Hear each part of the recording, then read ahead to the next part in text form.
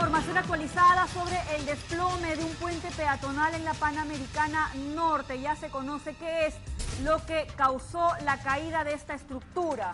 Así es, Pamela, aparentemente la carga de este tráiler que ustedes están viendo ahí tumbado a un lado de la pista era excesivamente alta para eh, puente, la altura del puente, lo que provocó que este puente caiga y cayó sobre una van que circulaba por la zona. Todavía está la información en desarrollo, están las unidades de eh, los bomberos y de la policía en el lugar para descartar posibles víctimas.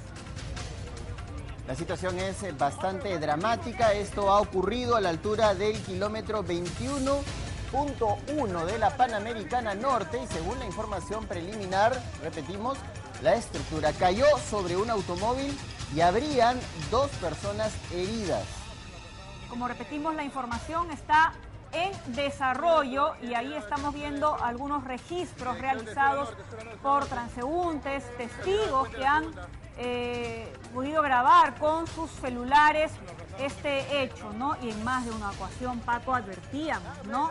Que los conductores, sobre todo esos vehículos grandes, no toman las precauciones del caso para pasar por debajo de estas estructuras. Es una conjugación de situaciones, Pamela, porque en verdad no solo son los choferes que no toman en cuenta las alturas reglamentarias de los puentes, sino que en muchos, en muchos casos hace falta la señalización adecuada en las vías que adviertan a los conductores que no pueden circular por estas rutas con estructuras o con cargamento demasiado alto para la vía. Por ejemplo, en la vía de evitamiento hace algunos años han instalado ya algunos pórticos precisamente para evitar que antes de que lleguen a los puentes estos camiones puedan evitar pasar por estas rutas. Pero estos pórticos no están instalados en todas las rutas del país.